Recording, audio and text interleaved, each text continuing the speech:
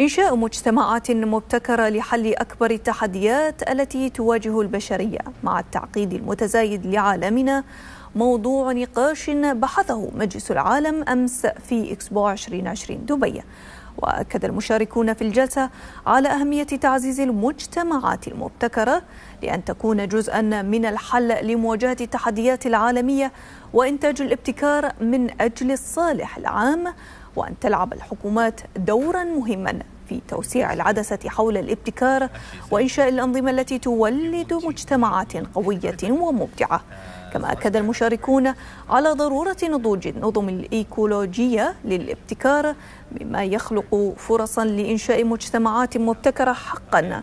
فضلا. عن تعاون جميع القطاعات الحكومية والشركات والمنظمات غير الحكومية والأوساط الأكاديمية ورجال الأعمال والأفراد لحل التحديات المجتمعية المعقدة.